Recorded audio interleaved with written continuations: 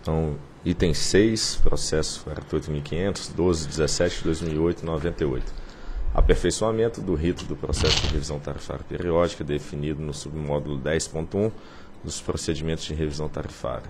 Diretor relator, doutor Edvaldo Santana. O relatório que está aí ainda está incompleto, faltando duas frases. O submódulo 10.1 do PRORET foi aprovado pela Resolução Normativa 458. Ao definir as etapas e o cronograma referencial de um processo de revisão tarifária, fica definida a obrigatoriedade de reunião presencial da audiência pública na área de concessão da concessionária. Em dia, dia 3 de 7, a SRE, pela nota técnica 277, fez uma proposta de alteração desse submódulo e nesse mesmo dia, ou seja, 3 de 7, o processo foi a mim distribuído. É o relatório. Procuradoria.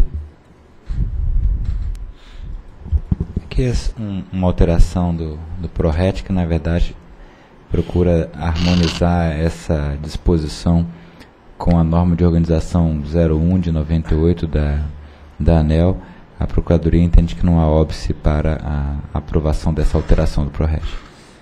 Capítulo 2 da norma de organização 1 de 98, com redação dada pela Resolução Normativa 483 de 2012, trata das audiências públicas. Ao definir as etapas de uma audiência pública, a norma deixa claro que a reunião presencial depende de prévia aprovação da diretoria. Não consiste, portanto, de condição necessária, mas de uma possibilidade a ser avaliada pelos diretores.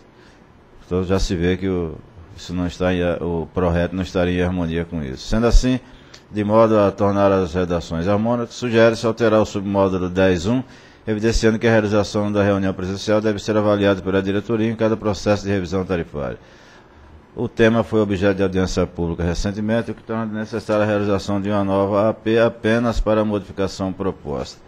Temos observado em várias audiências públicas de revisão a pequena participação do público. Em muitas delas, a AP é encerrada logo após as apresentações da ANEL, da distribuidora e do Conselho do Consumidor, pois não há inscrições do público. Em outras, os temas de discussão nada têm a ver com o propósito da AP.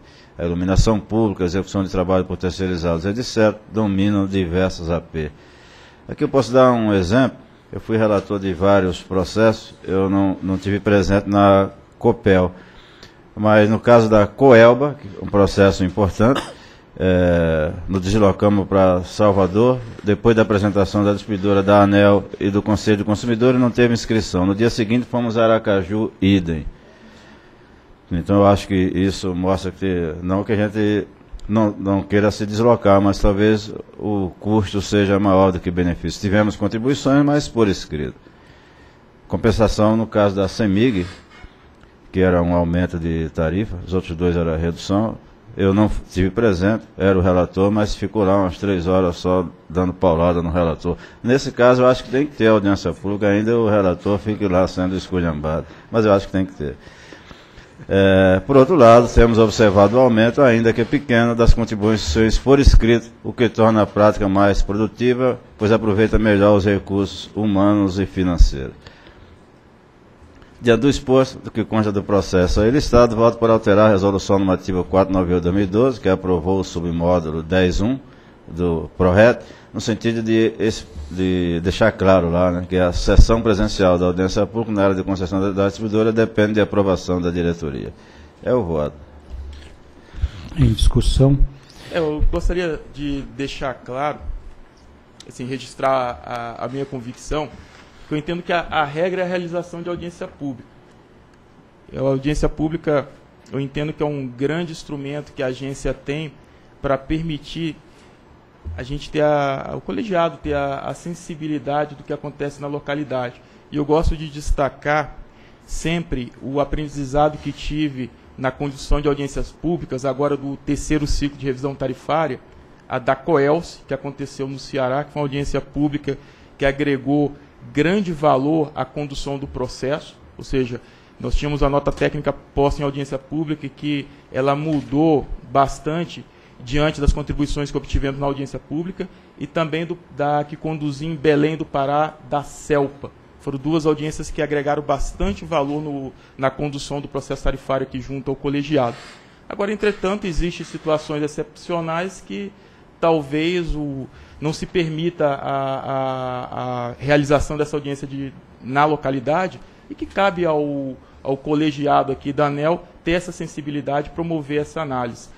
Então é, é, pertinente aqui esse dispositivo, porque hoje, como está editada a norma, ela, se, ela é compulsória, né, obrigatória, e de fato é importante o colegiado ter essa sensibilidade. Mas só registrar que não é porque estamos aprovando esse, esse dispositivo que estamos entendendo que a audiência pública não é, não é necessária. Assim, ao meu ver, a audiência pública é, é a regra, a audiência pública presencial, a não ser em caso de exceções, a gente po pode estar não avançando na realização da sessão presencial. É, talvez até é importante frisar isso foi dito assim.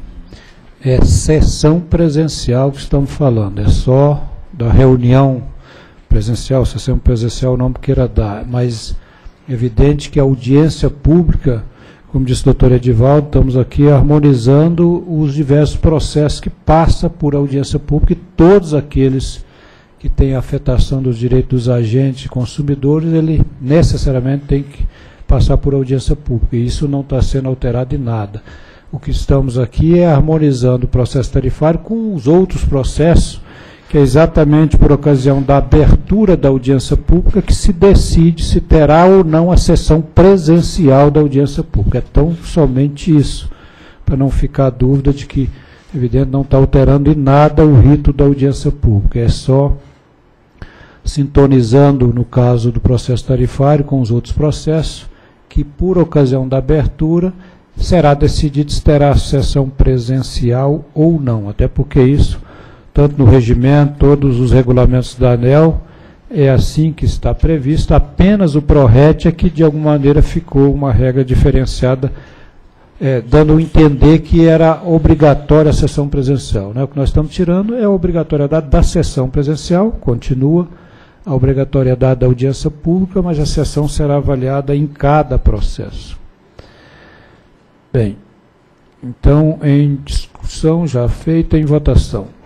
Voto com o relator. Também voto com o relator. Proclamo, então, que a diretoria decidiu por alterar a resolução normativa 498-2012, que aprovou o submodo 10.1 do PRORET, no sentido de explicitar que a sessão presencial da audiência pública na área de concessão da distribuidora dependa de aprovação da diretoria, ou seja, quando a abertura da audiência é, da pública que será decidido se haverá ou não sessão presencial. Só vou completar, Romeu, colocando, conforme determina o capítulo 2 da norma de organização 98, com redação dada pela resolução normativa 483 de 2012. Aí fica mais... Perfeito, fica mais preciso.